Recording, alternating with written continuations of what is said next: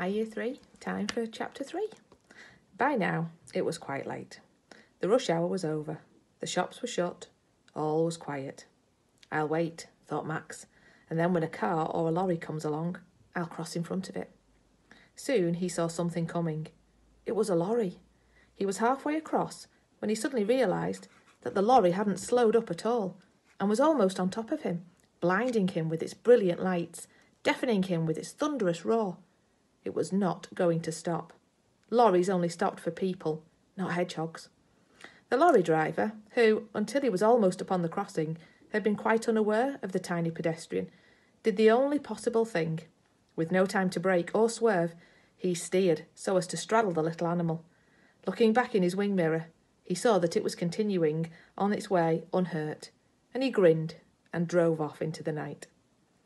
The sheer horror of this great monster passing above with its huge wheels on either side of him threw Max into a blind panic, and he made for the end of the crossing as fast as his legs would carry him. He did not see the cyclist silently pedalling along close to the curb, and the cyclist did not see him until the last moment. Feverishly, the man twisted his handlebars, and the front wheel of the bicycle suddenly wrenched round, caught Max on the rump, and catapulted him head first into the face of the curbstone. The next thing that Max recalled was crawling painfully under his own front gate. Somehow he had managed to come back over the zebra crossing.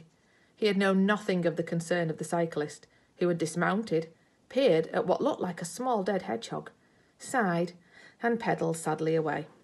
He remembered nothing of his journey home, wobbling dazedly along on the now deserted pavement, guided only by his sense of smell. All he knew was that he had an awful headache.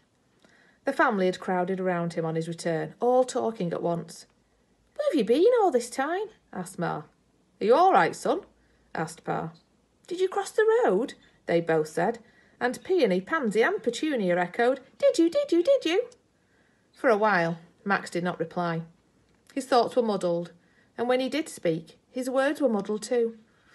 I got a head on the bump, he said slowly. The family looked at one another. Something bot me on the hit'em, said Max, and then he headed my bang, my ache, Bads Headley. But did you cross the road? asked his sisters. Yes, said Max wearily. I hound where the humans cross over, but. But the traffic only stops if you're a human, interrupted Pa. Yes, said Max. Not if you're a hedgehog. End of chapter three.